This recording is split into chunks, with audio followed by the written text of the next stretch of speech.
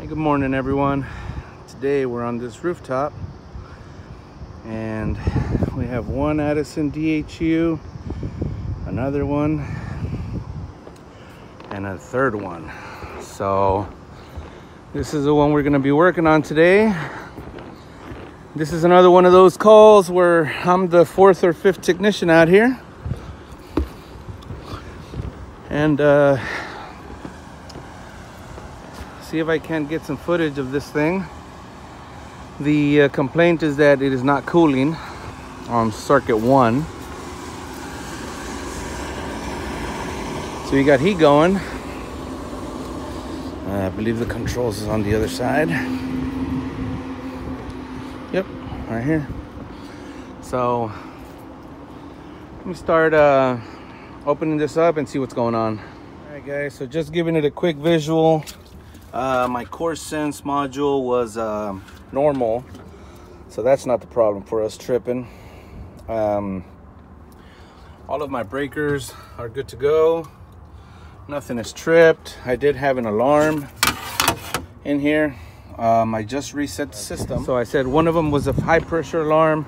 Second one was compressor lockout. So before I do anything, guys, just one of the things I do is I just kind of uh, let it run through its cycle.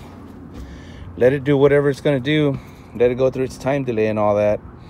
And uh, we'll figure out what she's doing. So just give it a minute here and we'll find out what's going on. System starting up. Just opened up our outside air dampers. See, they're still opening up. So this is 100% outside air.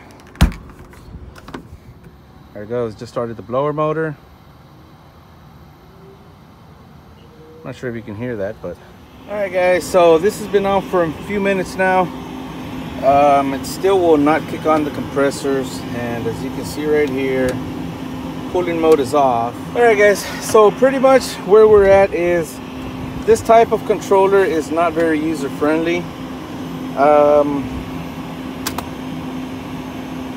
apparently that's why the other technicians that were out here couldn't get this compressor to cool because our ambient temperature is below 55 degrees and whenever we're below 55 this uh, the system will not run in cooling mode. Right now it's just running in heat. You can see right here I could jump it right here. Compressor kicks on. I'm gonna have to take a few minutes here to figure out how exactly I'm going to do this. Um, it's gonna be a pain to jump the compressor out jump the board out. Um, this is the output for the compressors and then find a way to get the signal over here I mean I'm sorry here so that our outdoor fan can run. So you see here's the uh, outdoor fan. Once the compressor contactor closes I'm sorry we're right here compressor contactor. And you got your DC voltage. So it's gonna be uh, it's gonna be tricky. Let me go ahead and try to figure this out so right here says cooling mode, low limit, outdoor air temperature 60. So I'm gonna see if I can drop this down to, I don't know, 50. And maybe we'll be able to get this thing on. I changed that to 50 and it went back, just reverted to its original settings. And it reverted back to its a default factory setting or whatever it's programmed to. So right now the biggest challenge is getting this compressor to run. I have resorted to trickery. I'm gonna try to uh, warm up this sensor one way or another. All right guys, so I finally found a way to do it. Um, so this is compressor number two. Not sure if you can see right there, but the fans are running. One fan. Here's the other. So compressor number two, I got it to run with the fans on. But compressor number one does not kick the fans on. So that's number two right there. We just haven't been able to figure it out because we haven't been able to get them running, which is pretty dumb, but see, this one's running right now this one was not running when I ran this one. So maybe we have some sort of wiring or sensor issue. It's gonna be interesting.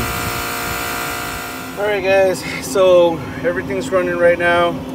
We're gonna go back to the uh, hand off auto menu. That doesn't mean homeowners association.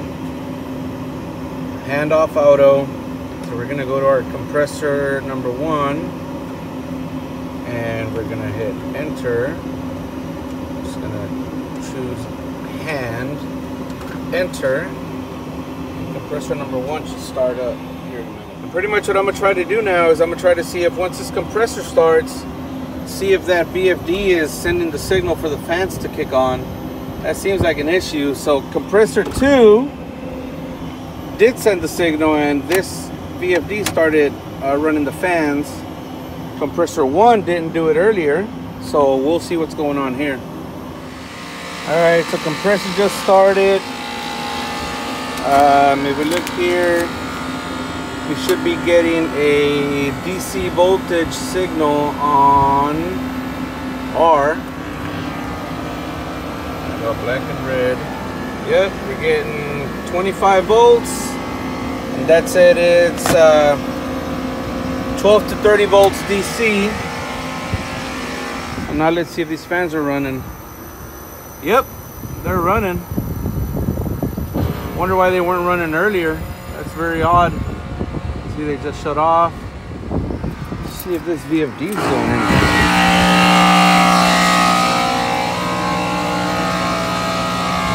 This one right here.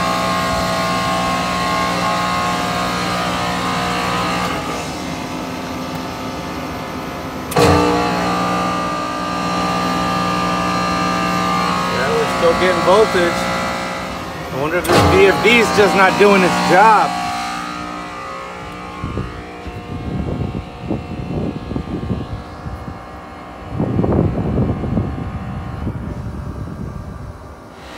Alright, so this VFD is not running the fans. Haven't got any amp draw on it. Let's go ahead and check this one real quick, see if we can't isolate one of these wires. I can hear them. Can hear them running. There they go. So let's go see what the amp draw is on this uh, on this set of fans for compressor two. So you see we're drawing some amperage. So let's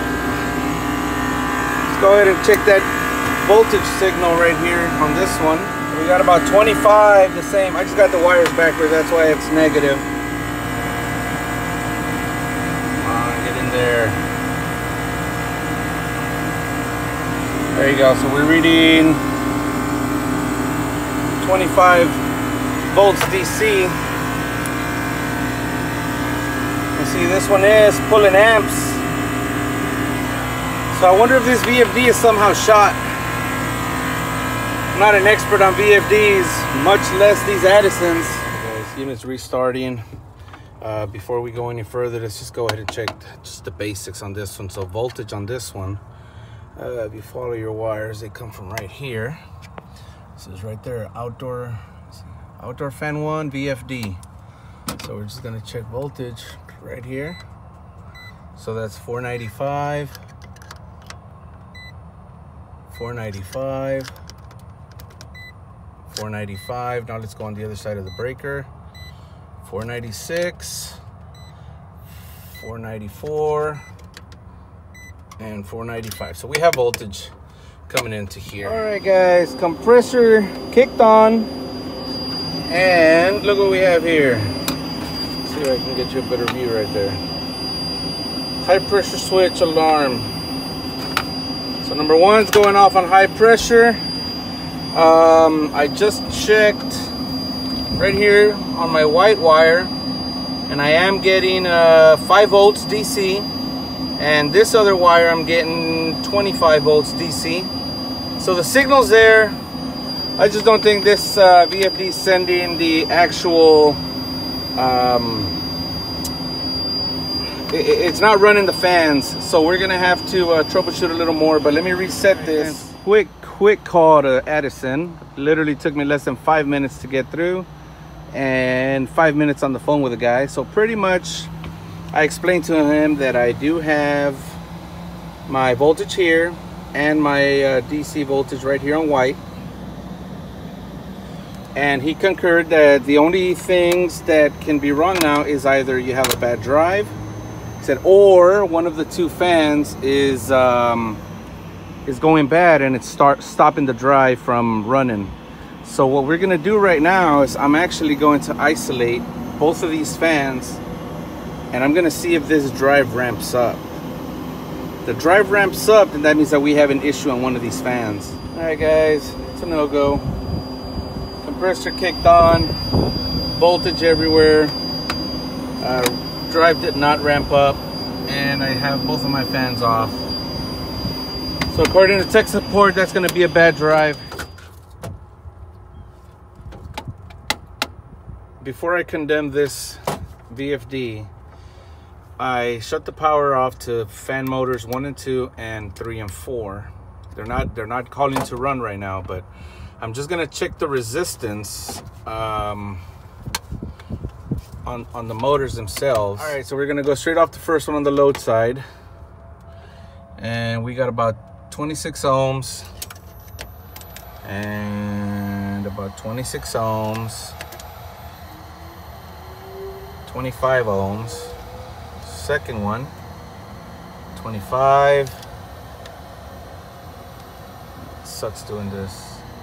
26 and 1 and 3 26 so both of these are reading the same. 26 ohms. Let's go ahead and check this third one right here.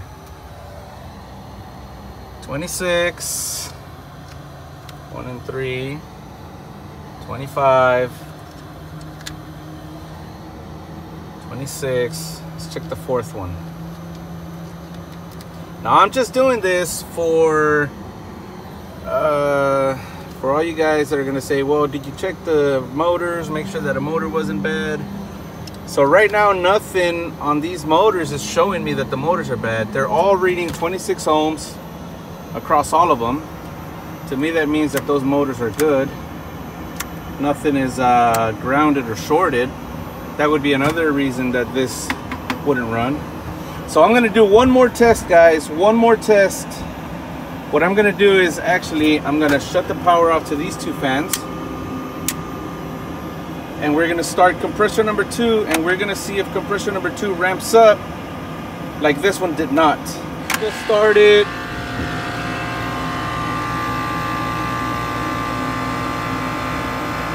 Give it a second. We got our voltage right here on black to white. Got our voltage. It looks like it's ramping up right there. 20, 31. Let's turn one of these on before it goes into uh, head pressure. There you go. So see that one's ramping up as needed. Let's turn the second one on.